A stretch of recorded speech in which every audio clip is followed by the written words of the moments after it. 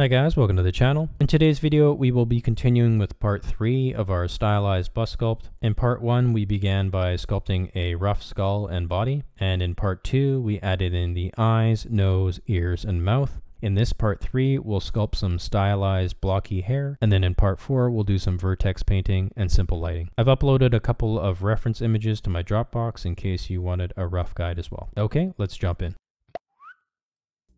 For the hair, I'm going to start with the beard. Control tab into sculpt mode and then M for the mask tool. I'm going to paint in the shape of the beard I want like this.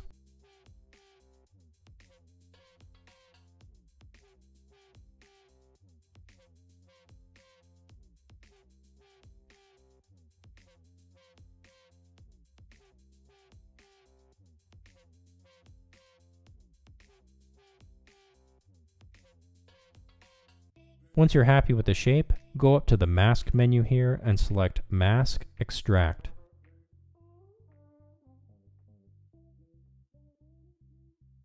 I'm going to stick with the default options and press OK.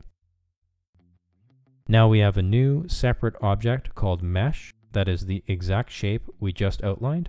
You can adjust the thickness of the new object over here on the modifier panel once you have the desired thickness, you can click here to apply the mask extract modifier. Now control tab into sculpt mode and press alt M to clear the sculpt mask. Switch to any other brush than the mask brush and then you can hold shift to start smoothing.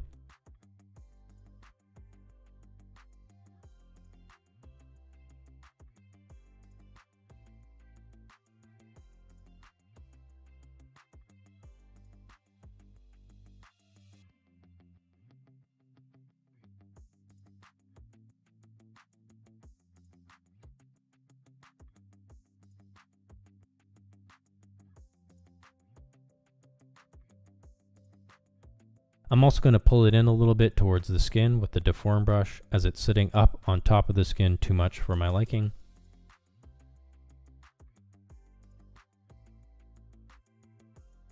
Now onto the hair base, same thing, control tab into sculpt mode.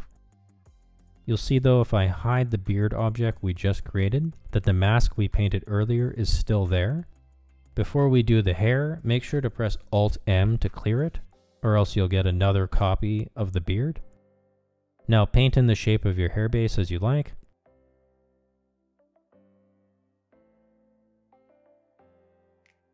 Same thing, up to the mask menu, select Mask Extract, adjust the thickness, and then apply the Mask Extract modifier. Control Tab back into sculpt mode, Alt M to clear the mask, then switch to any other brush than the mask brush and hold Shift to smooth. You can also Shift R and Control R to voxel remesh if you'd like.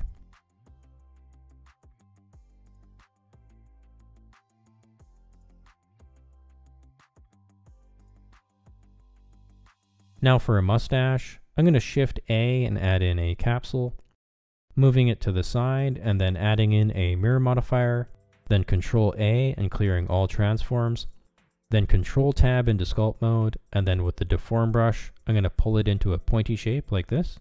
You can also use the snake hook brush, which I like to do as well,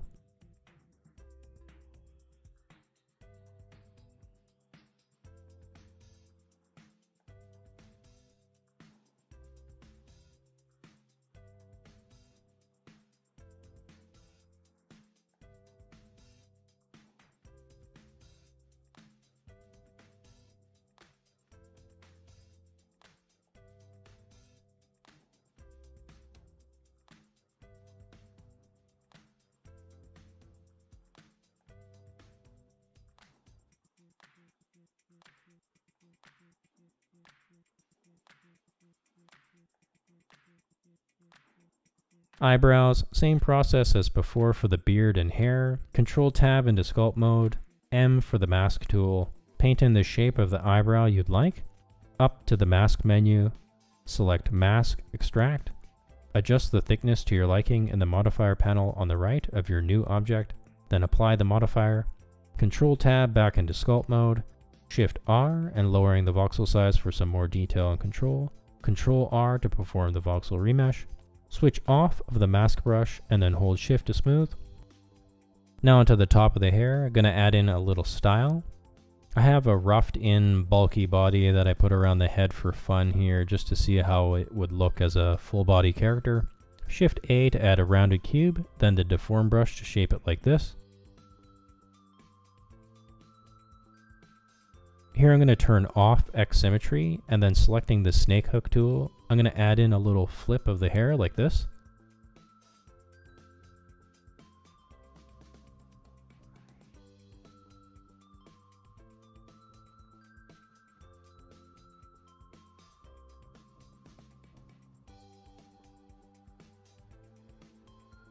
Okay, that looks good. Now just sliding the top of the hair a little to the side to make it a little bit less uniform and symmetrical.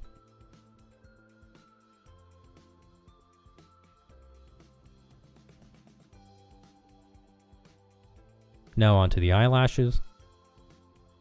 Shift A and adding in a single vertex. I'm going to go up and turn the snap function on by clicking on this little magnet icon then clicking on the little pull down right next to it and selecting snap to face. Then I'm going to turn off project onto self and turn on project individual elements. Now when I press G to move the single vertex, it will snap onto the face of the closest object. Let's move it over the eyelid. Press E to extrude it to match the shape of the eyelid like this. Make sure as you make the shape that you match the same number of vertices on the top and bottom. Now select the four vertices on the end and press F to make a face. Now select the two outer vertices, open to the rest of the vertices and press F all the way down and Blender will automatically create quad faces for you. To give it a little bit of volume, I'm going to tab into edit mode, select all the vertices by pressing A, then turn off snap to face, and then press E to extrude it all out.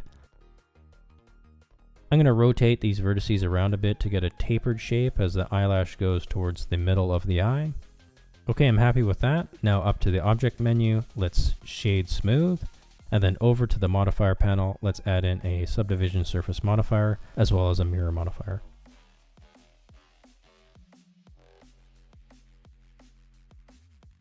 Control A to clear all transforms if it's not mirroring over to the other side. Okay, onto the goatee. I'm going to control tab into sculpt mode, shift R and control R to voxel remesh, and then with the inflate brush, I'm going to create a long cylindrical shape like this.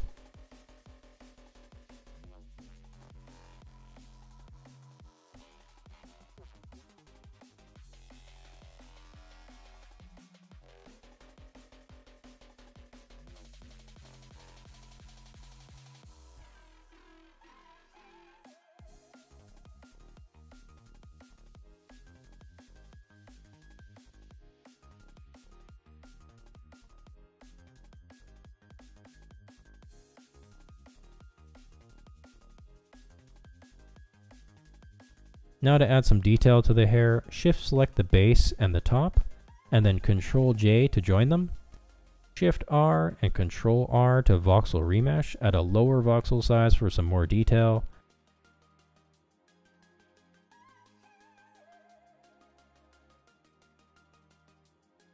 Then I'm going to turn on X symmetry here for the sides.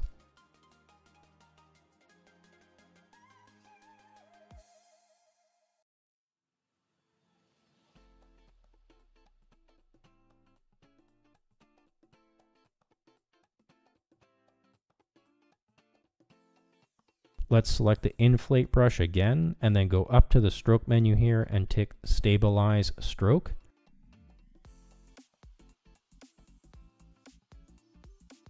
Now when you use the brush, you'll notice a red line pops up.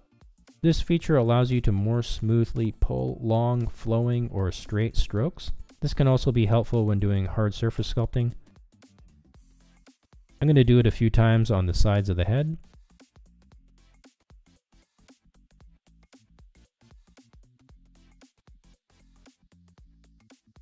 Then I'm going to switch to the scrape brush and go over it again to flatten it out and give it a stylized angular look. Note that I already have the stabilized stroke feature on for this brush as well.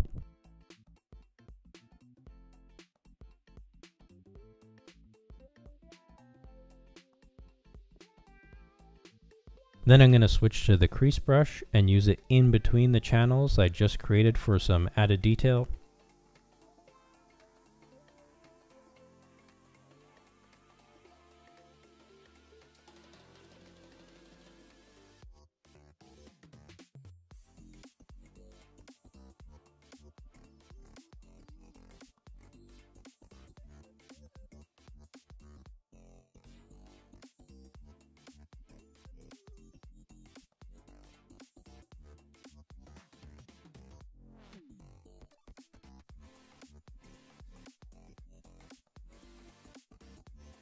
Okay, now for the top, I'm going to turn off X symmetry and do the same thing as we did for the sides. Inflate brush with stabilize stroke on. After I use the inflate brush, I like to press Ctrl R to remesh and clean up some of the geometry. Then using the scrape brush over it to flatten it out.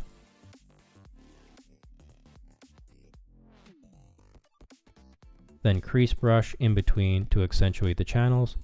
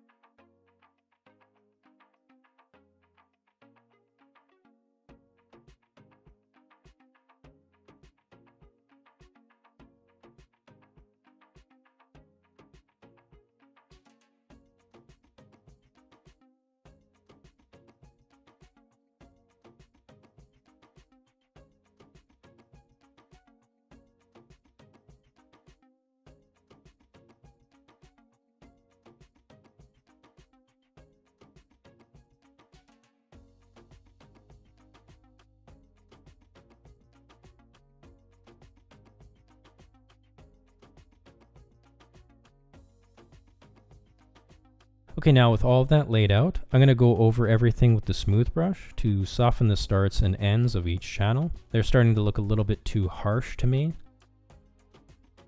So lots of smooth brush over the beginning and end of each stroke I did earlier to have it sort of fade into the base of the hair and make it a little bit more gradual.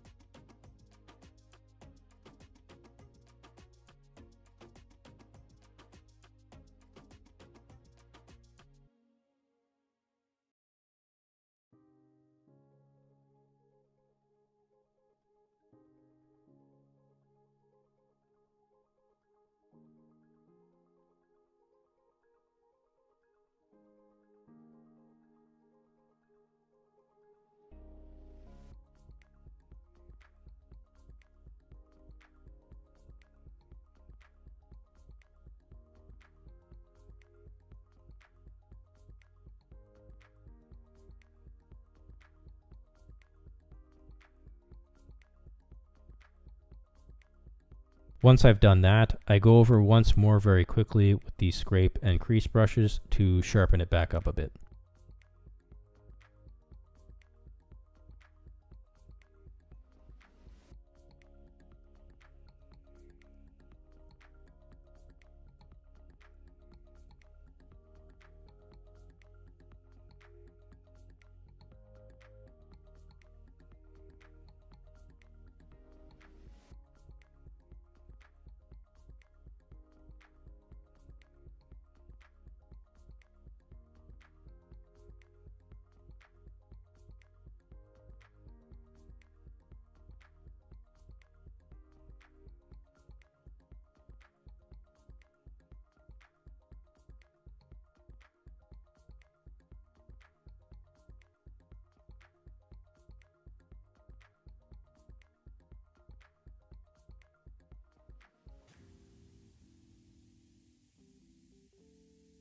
Then the same workflow on the eyebrows.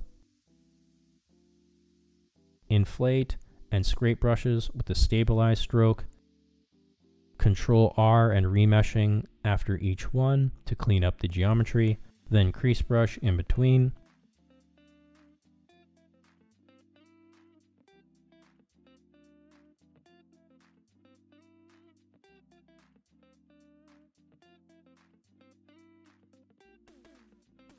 Then smooth the ends a little bit to make it a little bit more gradual.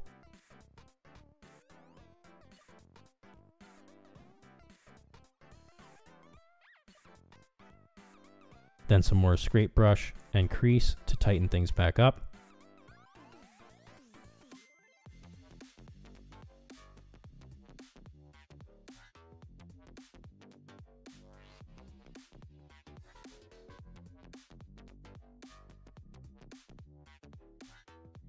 Here I also use the snake brush to give it a little bit more of a fun shape.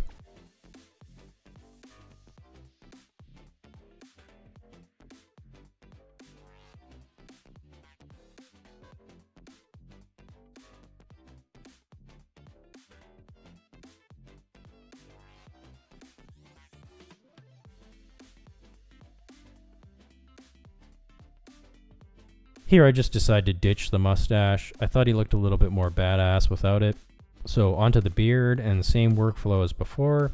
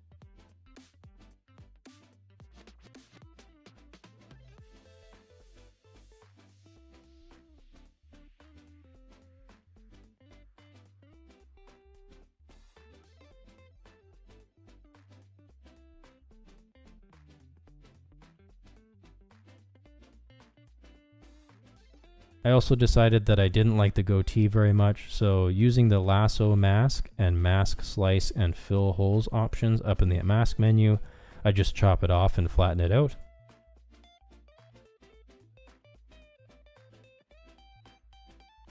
So there you have it, one way to sculpt some very blocky stylized hair. In the next final part of this video series, we'll add some lighting and do some vertex painting. Give me a shout on social media and show me what you're coming up with. I love seeing your guys' creations. I have a little Facebook group going now too, which makes sharing and asking questions a little bit easier. Anyways, thanks for watching guys. I hope it helped and see you in the next one.